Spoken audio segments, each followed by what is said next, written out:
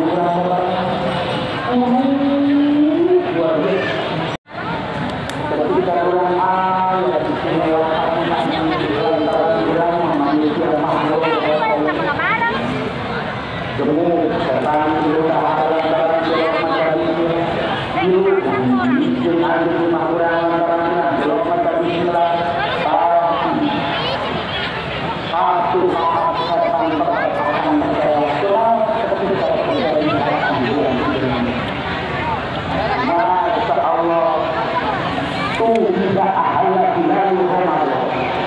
di mana